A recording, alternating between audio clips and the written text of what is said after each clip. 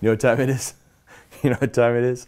You know what time it is? It is joke of the week. All right. All right, here we go. Here we go. Joke of the week. Joke of the week. All right. this uh, um, this guy's really down down on his luck. He's not doing well. He's he's he's kind of homeless and he thought, "Man, I need I need to eat, man. I'm hungry."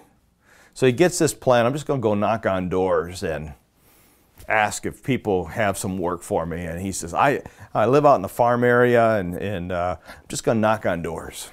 So he goes up to this house and he knocks on the door. He says, Listen, guy answers the door. He says, Listen, I'm, I'm, I'm homeless. I'm not asking for a handout.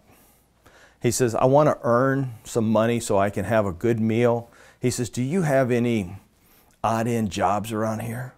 He said, I, I, I would do a good job, I promise you. And the guy inside the house looked at him and said, You know what? I got something for you.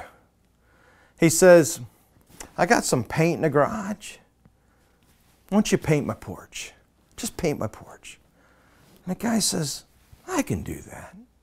I can do that. An hour and a half go by. Guy comes back, knocks on the door.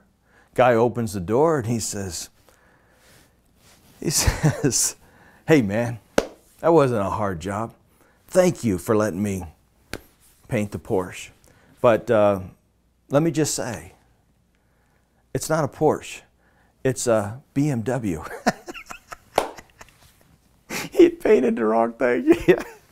oh, that was awful. Yeah, yeah. Glad that you uh, uh, you followed along with me. If you got a joke for us this week, if you've got a good joke, we get a lot of bad ones, but if you got a good joke, a funny joke, we would love to share it. Send your joke to us at jokes at crosswaveschurch.com.